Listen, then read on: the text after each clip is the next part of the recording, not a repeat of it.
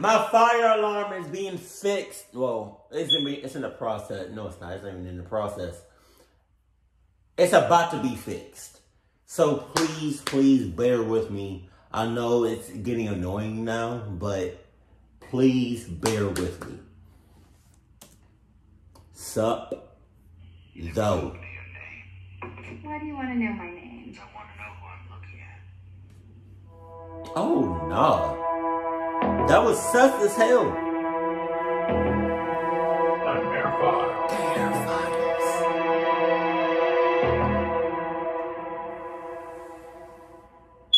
In 1996, the world was introduced to a new kind of scary movie. Right. One that pointed out the cliches and flaws in all scary movies that we know today. Right.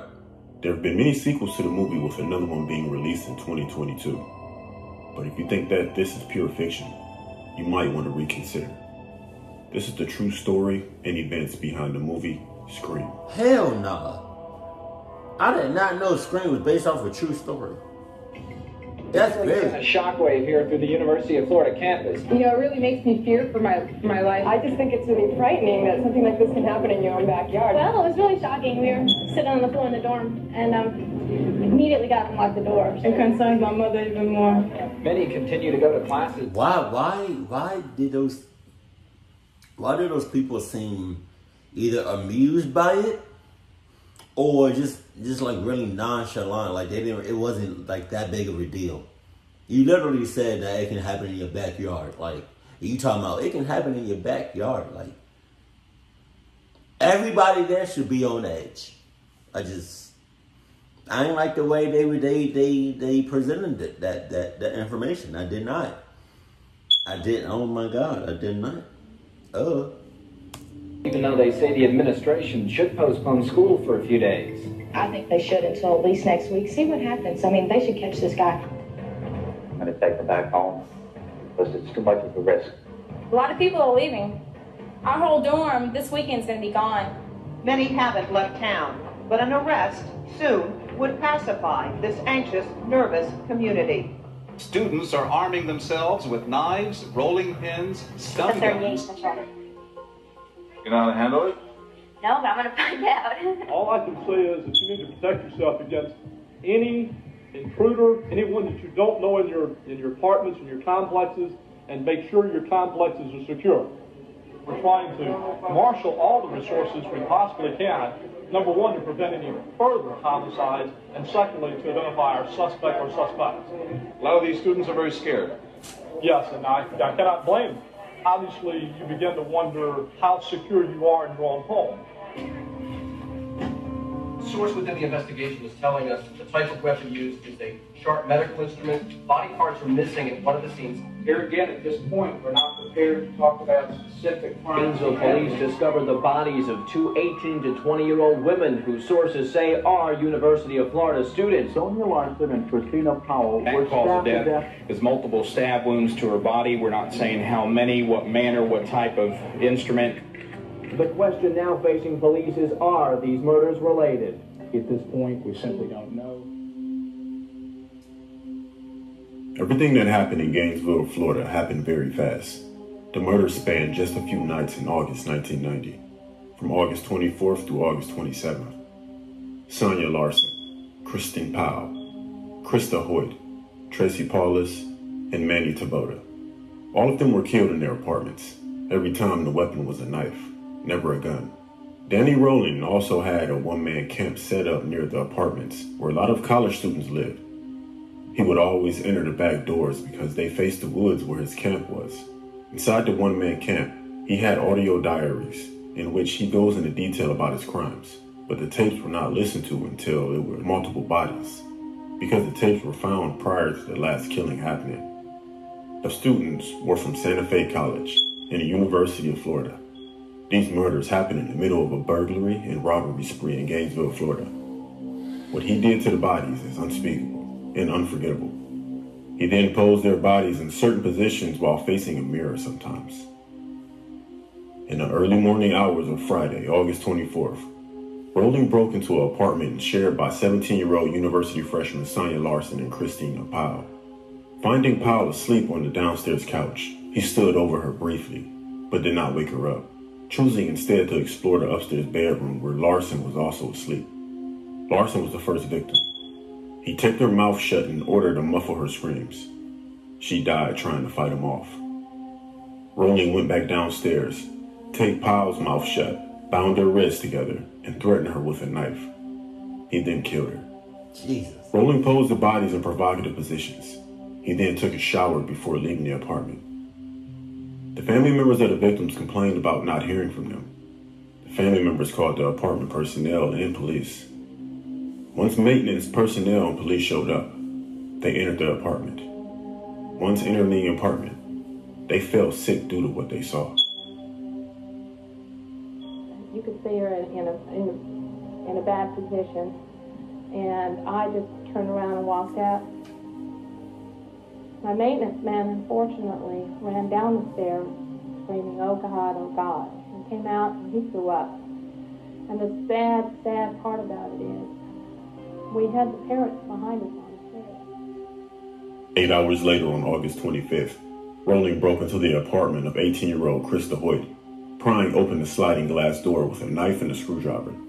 Noticing that she was not home, he waited in the living room for her to return. At 11 a.m., Hoyt entered the apartment, and Rolling surprised her from behind, putting her in a chokehold. After she stopped fighting, he taped her mouth shut, bound her wrists together, and led her into the bedroom. After arriving back at his campsite when he left her apartment, Rolling could not find his wallet. Thinking that he may have lost it at the murder scene, he returned there, in which he decided to pose Hoyt's head on a shelf facing her body, and her body sitting up at the edge of the bed. By now, the murders had attracted widespread media attention, and many students were taking extra precautions. Because the spree was happening so early in the fall semester, some students withdrew their enrollment or transferred to other schools.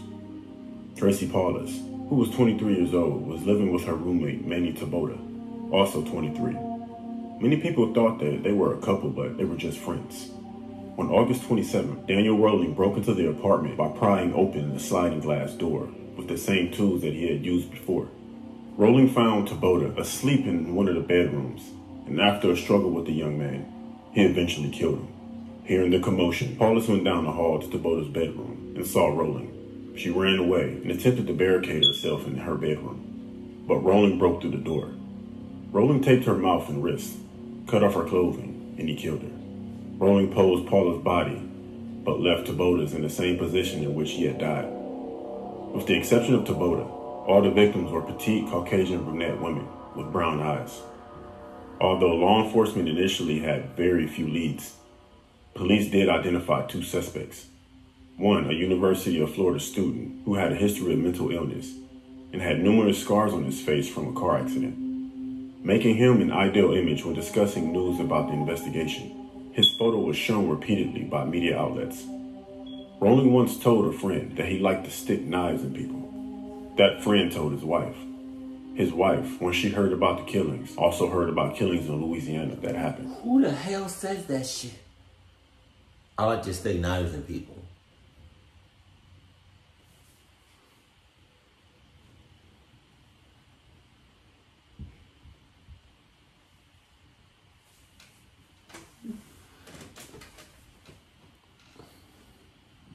You getting locked up off of substance.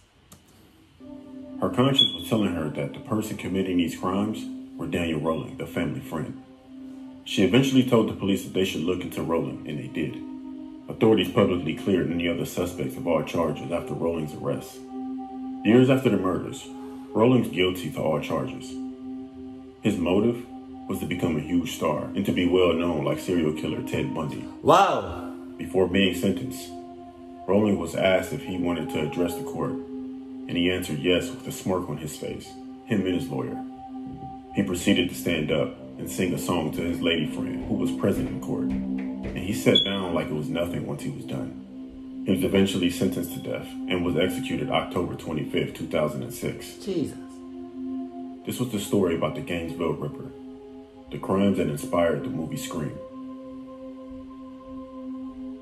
Give Mr. Rolling an opportunity to have a say. You have anything you want to say, Mr. Rolling? Well, sir. I left the police court. Um, could I address the court? Sure, say whatever you want to say. Thank you. Anytime.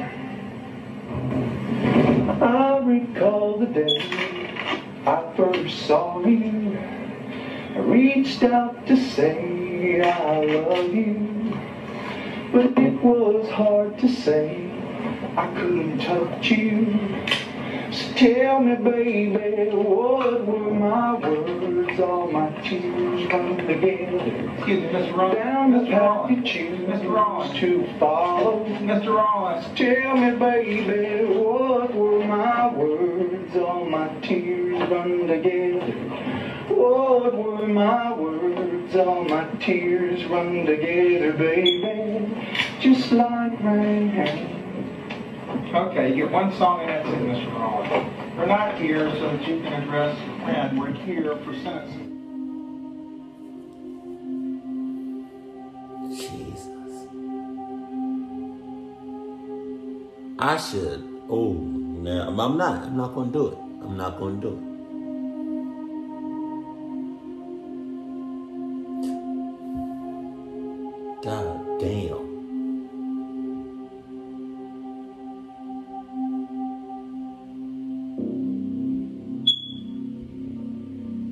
He had a good voice. I'm not gonna hold you, but Jesus. Cause a hell of a zoom. Those eyes. Those evil ass eyes. Oh my God.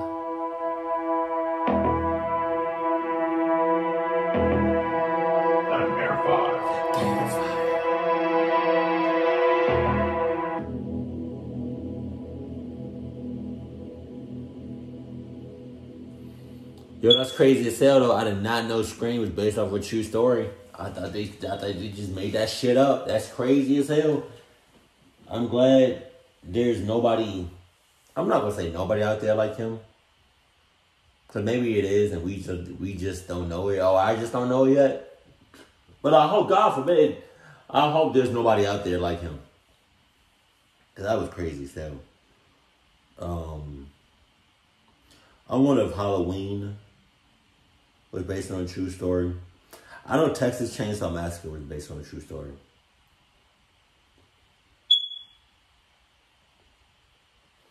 I wonder if Nightmare on Elm Street was based on a true story. Now that got me thinking. But regardless of the fact, we got people like that, and that's that's crazy. And I think we're just gonna have weird, creepy, crazy, sus, clucked up people in this world.